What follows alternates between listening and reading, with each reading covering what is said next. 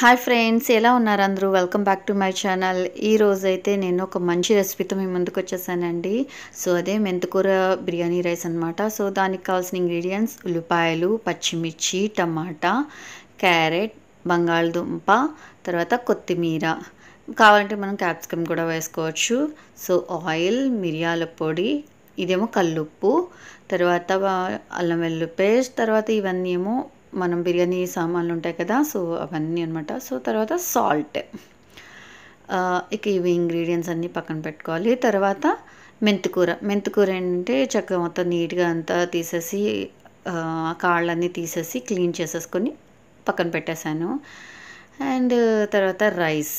Rice వచ్చేసరికి నానబెట్టేస్తున్నాను అనమాట so కడిగేసి నానబెట్టేసాను అవి. మామూలుగా బియ్యం అనేది మీకు చూపించాను అంతే.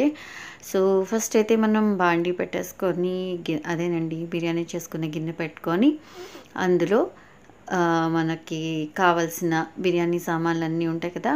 సో అవన్నీ అనమాట అంటే చెక్క లవంగం దాల్చిన చెక్క సారీ చెక్క లవంగం యాలక్కాయలు బిర్యానీ ఆకు వేసేసాను. అండ్ తర్వాత మనం కట్ చేసుకున్న వెజిటేబుల్స్ ఉన్నాయి కదా అవి ఒక్కొక్కటిగా వేసుకోవాలి. సో ఫస్ట్ అయితే నేను ఉల్లిపాయలు వేసాను తర్వాత పచ్చిమిర్చి ఆ తర్వాత క్యారెట్స్. క్యారెట్స్ ఇలాగా రౌండ్గా కట్ చేసుకుంటే బాగుంటాయి. చిన్న చిన్న ముక్కల కన్నా కూడా ఇలాగ రౌండ్గా అయితే బిర్యానీలోకి బాగుంటాయి అనమాట సో తర్వాత పొటాటో. పొటాటో నేను మామూలుగా కట్ చేసేసి అలా ఉంచేసాను. కొంచెం కలర్ చేంజ్ అయింది. కానీ ఎప్పుడైనా కూడా పొటాటో కట్ చేసింది కొంచెం టైం పడుతుంది అనిపిస్తే మాత్రం వాటర్లో వేసి ఉంచేసేయండి. అప్పుడైతే కలర్ అనేది చేంజ్ అవ్వదు. సో తర్వాత మనం కొత్తిమీర వేసేసుకున్నాము. అండ్ తర్వాత టమాటా ముక్కలు కూడా వేసేసాను అనమాట సో ఇది సింపుల్గాని పిల్లలకి మనం క్యారేజ్ కడతాం కదా మార్నింగ్ టైంలోని అప్పుడు కూడా ఇలాగా కట్ చే చక్కగా చేసేయచ్చండి. నేను ఇందులో ఏంటంటే ఇప్పుడు నేను పుదీనా అనేది వాడలేదు. తర్వాత కొంచెం సాల్ట్ వేసాను. మనకి వెజిటేబుల్స్కి పట్టేంత అనమాట తర్వాత మిరియాల పొడి.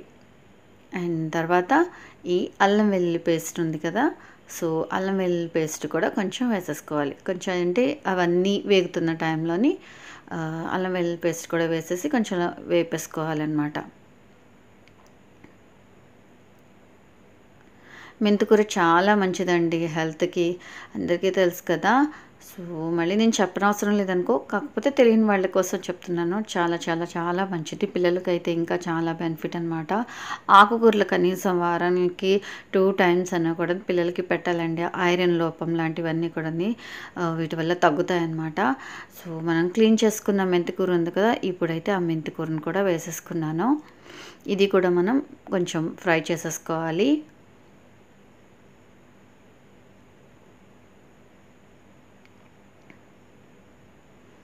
దగ్గరికి అయిపోయేలాగా మనం ఫ్రై అనేది చేసుకోవాలన్నమాట. సో ఇందులో నీ చెప్తున్నాను కదా మిగిలిన వెజిటేబుల్స్ మనకి ఏమైనా వేసుకోవాలనిపిస్తే కనుక క్యాప్సికమ్ లాంటివి కూడా వేసుకుంటే బాగుంటుంది. అండ్ ఇందులోని నెక్స్ట్ మనం వాటర్ అనేది వేసేసుకున్నాం. నేను ఇందులో అసలు పసుపు అనేది వాడలేదు. పసుపు లేకుండా నేను కొంచెం వైటిష్ కలర్లో అనమాట ఆ కలర్లో వేస్తున్నాను నేను. చేస్తున్నాను. ఇస్తున్నాను కదా చేస్తున్నాను. ఎందుకంటే మా వాడు అడిగాడు చాలా రోజుల నుంచి అడుగుతున్నాడు వాడికి వైట్ రైస్ అంటే చాలా ఇష్టం అండి. ఓన్లీ ఫ్రైడ్ రైస్ లాగా అనమాట బయట తెచ్చుకునే ఫ్రైడ్ రైస్ వైట్ వైట్గా అలా కన్ పైన పైన వెజిటేబుల్స్ అవి కనిపిస్తూ ఉంటాయి కదా. సో అలాగనమాట సో అందుకని వాడు అడిగాడని ఇవాళ ఏమి మసాలా అలా కాకుండా అంటే కలర్ చేంజ్ అయ్యేటట్టు కాకుండా కొంచెం వైట్గా చేద్దామన్న ఇదితో అలా చేశాను. సో మనం కల్లుప్పు కూడా వేసేసుకున్నాము.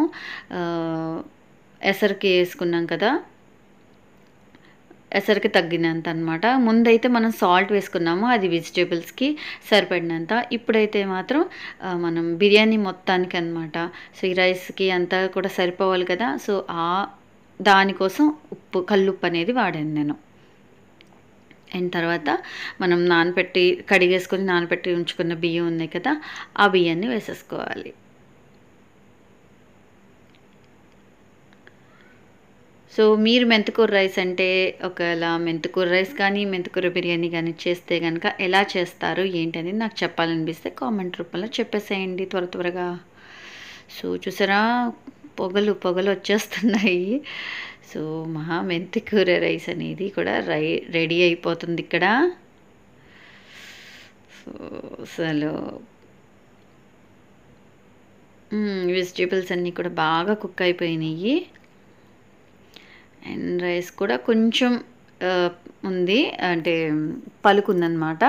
సో అందుకని మళ్ళీ ఒకసారి అంత అంటే అడుగు అంతా కూడా పట్టకుండా కొంచెం లైట్ వాటర్ ఉన్నప్పుడే ఒకసారి మొత్తం అంతా కలిపేసుకొని ఇలాగా చేసేసుకోవడమే. నేను ఇది వచ్చేసరికి నార్మల్ రైస్తో చేశానండి. బిర్యానీ రైస్ కాదు. మన మెంతి రైస్ అనేది రెడీ అయిపోయింది. ఇప్పుడైతే ఇక ఉల్లి చట్నీ అదేనండి పెరుగు చట్నీతో తింటే చాలా చాలా బాగుంటుంది.